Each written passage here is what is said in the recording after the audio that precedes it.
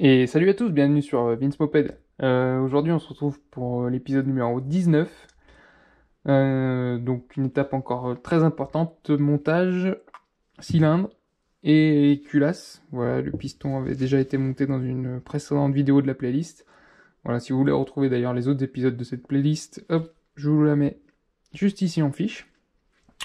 Donc aujourd'hui, étape importante, hein, montage du cylindre et, et de la culasse. Alors, hop, on va utiliser un joint de cul de d'embase classique, hein, euh, que je vais, pas mettre de patte cette fois. On va changer un petit peu parce que euh, déjà les plans de joint ont tous été vérifiés, ils sont corrects, donc il n'y a, pas de raison d'utiliser de la, pâte plus que ça. Deuxième chose, c'est euh, un moteur type origine, voilà, qui va pas non plus chauffer comme un dingue. Et dernière chose, vous me le reprochez souvent de mettre de la pâte un peu de partout, donc euh, là je pense que je prends pas trop de risques en mettant des joints, un joint simple euh, uniquement huilé. Donc eh ben on va commencer. hein. Donc je vais prendre juste un petit peu d'huile de temps, hop, que je vais mettre sur mon joint, vous voyez, entre deux doigts comme ça, juste histoire de le lubrifier et qu'il assure bien son étanchéité. Ça sert aussi au démontage. Hein, Quand on va vouloir démonter, si un jour JB veut démonter son moteur, il sera moins embêté et le joint de- d'en base va, va pas coller en fait. Hop, donc le joint est bien huilé. Voilà, de partout. On va pouvoir venir le mettre en place. Donc là, ce qui est délicat, c'est toujours le passage des pas de vis des goujons. Surtout quand le, joint est huilé, il a tendance à être plus souple, on va dire. Donc voilà, surtout que j'en ai qu'un. Alors faut que je fasse attention. Voilà. Donc là, une fois qu'on a passé les pas de vis, c'est plus simple.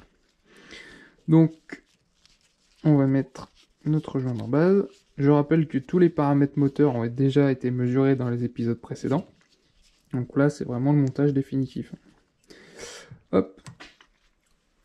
Ensuite, il va nous falloir lubrifier un petit peu le cylindre pour qu'il rentre tout en douceur. Donc pareil, un petit peu d'huile sur le bout du doigt. Là, vous venez bien lubrifier le bas du cylindre. Voilà. Vous, lubrifiez bien tout ça. Voilà. Donc maintenant, on va procéder à une étape euh, assez délicate. C'est de rentrer le cylindre dans le piston en, pin- en pinçant les segments dans les ergots. Je ne sais pas si vous arriverez à voir grand chose. Pour moi, c'est déjà pas évident. Moments. Voilà, je crois que j'ai réussi. Hop, donc pareil, si ça force, euh, n'hésitez pas à vous arrêter et à reprendre. Ça, doit- doit pas forcer, vous voyez. Là, je rentre vraiment le cylindre. Hop, il rentre tout seul. Vous vérifiez que ça tourne librement. Voilà, donc là, il y a un peu d'huile qui remonte. hein. C'est normal avec tout ce qu'on avait mis. Voilà. Donc ensuite, une fois que ceci est fait, vous enlevez un peu l'excédent d'huile.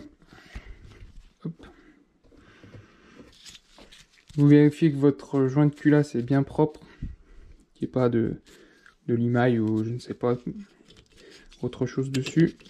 Vous allez venir le placer. Hop. Un petit coup de nettoyage, ça fait pas de mal. Et ensuite, pareil, vous allez venir enquiller la culasse. Hop. Comme ceci. Ensuite, vous placez vos écrous. Donc vous pouvez les approcher. euh, là, c'est une clé à pipe. hein. Donc une clé à pipe, ça va pas mal. Après, vous pouvez avoir les plus longs écrous, des fois, qui sont bien pratiques. Si vous démontez souvent votre moteur. Bon, là, je pense pas que JB va le démonter tous les 4 matins, donc c'est pour ça qu'il m'a fourni ça. Vous approchez vos écrous.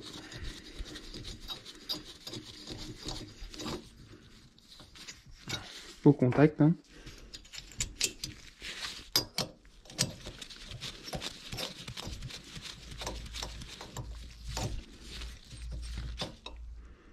Voilà, donc une fois que les quatre échos sont en contact, moi ce que je conseille c'est quand même de mettre un coup de clé dynamométrique. Voilà, donc certains, euh, je sais que certains font ça euh, vraiment au ressenti, ça peut être fait si vous avez l'habitude, mais bon si vous êtes novice, euh, équipez-vous des outils qui vont bien. Donc douille de 11 et moi je à, à 1,5 kg, donc en croix. Donc voilà. Alors pourquoi en croix? Parce que c'est de, ça reste de l'aluminium, un métal qui est assez déformable. Donc euh, si vous serrez euh, fort, ici et après là, et ben vous risquez euh, votre culasse en exagérant de fasse ça. Et après ça peut créer des, des fuites d'air. Hop, j'en étais là. Donc après ben, on, on repart en croix. Donc voilà, là j'ai déjà 1,5 kg.